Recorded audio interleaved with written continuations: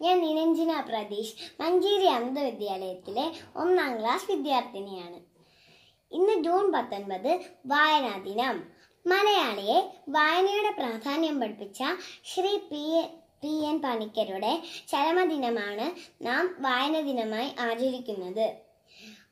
വായിച്ചു വളരുക ചിന്തിച്ച് വിവേകം നേടുക എന്ന ആശയം അദ്ദേഹത്തിന്റെ ആണ് ഇനി ഞാൻ നിങ്ങൾക്കൊരു കഥ വായിച്ചു തരാം. കഥയുടെ പേര് ഒന്നിച്ചു നിന്നാൽ നന്ന്. ഒരു കൃഷിക്കാരന് മൂന്ന് ആൺമക്കൾ ഉണ്ടായിരുന്നു. അവർ തമ്മിൽ എപ്പോഴും വഴക്കുണ്ടാക്കും. അത് കാണുമ്പോൾ കൃഷിക്കാരന് സങ്കടമാകും. ഇവരുടെ മഴക്ക് വഴക്ക് മാറ്റാൻ എന്താണൊരു വഴി? കൃഷിക്കാരൻ ആലോചിച്ചു. ഒടുവിൽ ഒരു സൂത്രം കണ്ടെത്തി. കൃഷിക്കാരൻ കുറേ വടിയെടുത്ത് ഒരുമിച്ച് കെട്ടി. എന്നിട്ട് മക്കളെ ഓരോരുത്തരായി വിളിച്ച് അത് ഒടിക്കാൻ പറഞ്ഞു. മൂന്ന് പേര് ശ്രമിച്ചു ശ്രമിച്ചു നോക്കിയെങ്കിലും ആർക്കും അത് ഒടിക്കാൻ പറ്റിയില്ല. ഹോ ഇത് ഒടിക്കാൻ കഴി കഴിയുന്നില്ല അവർ പറഞ്ഞു.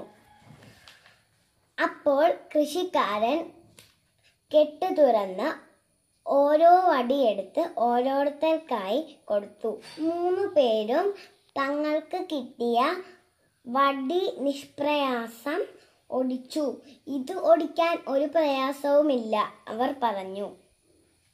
ഒടുവിൽ കൃഷിക്കാരൻ പറഞ്ഞു ഇതുപോലെയാണ് മക്കളെ നിങ്ങളുടെ കാര്യവും. ഒറ്റക്കെട്ടായി നിന്നാൽ ആർക്കും നിങ്ങളെ തോൽപ്പിക്കാനാവില്ല. വഴക്കിട്ട് മാറി നിന്നാൽ എളുപ്പത്തിൽ തോൽപ്പിക്കാനും പറ്റും. അച്ഛൻ പറഞ്ഞത് ശരിയാണ്. അവർക്ക് മനസ്സിലായി. അങ്ങനെ അവർ ഒരുമയോടെ ജീവിക്കാൻ തുടങ്ങി. കഥ എല്ലാവർക്കും ഇഷ്ടമായല്ലോ? അപ്പൊ എല്ലാവർക്കും എന്റെ വായന ദിനാശംസകൾ.